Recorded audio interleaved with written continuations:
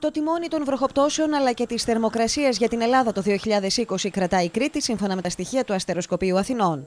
Από τα 10 μεγαλύτερα ετήσια ύψη βροχόπτωσης, τα 7 καταγράφηκαν στην Κρήτη, με τον Ηφαιστίον τον Ιανουάριο και την Κύρκη τον Οκτώβριο, όπως και τα διαδοχικά κύματα κακοκαιρίας τον Νοέμβριο και το πρώτο μισό του Δεκεμβρίου, εκτός από τα σημαντικά προβλήματα και τις καταστροφές που προκάλεσαν να δίνουν το ρεκόρ βροχών στο νησί. Αυτό σημαίνει για δεύτερη συνεχόμενη χρονιά, γιατί και το 2019 είχαμε θεαματικά ύψη βροχής στην Κρήτη υπενθυμίζω και τις μεγάλες καταστροφές και τις κακοκαιρίες που είχαμε το Φεβρουάριο του 2019.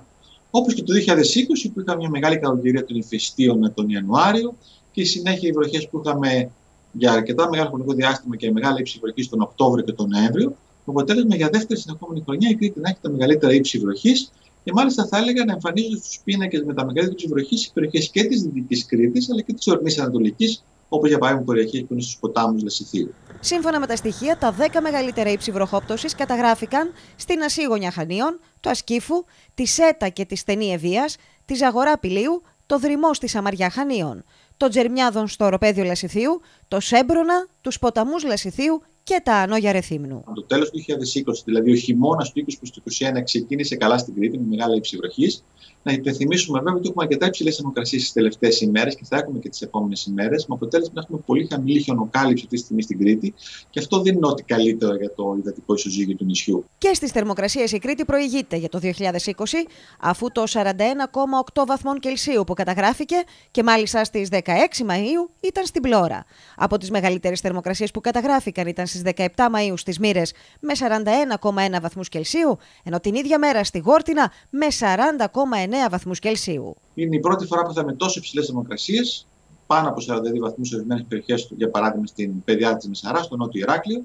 Και μάλιστα αυτές τις περιοχές ήταν οι υψηλότερε όλου του καλοκαιριού. Δηλαδή το, είχαμε το παράδοξο σε αρκετές περιοχές της Κρήτης αλλά και σε άλλες περιοχές της χώρας να είχαμε τις υψηλότερες θερμοκρασίες του χρόνου, όχι μέσα στο καλοκαίρι, αλλά στα μέσα Μαΐου.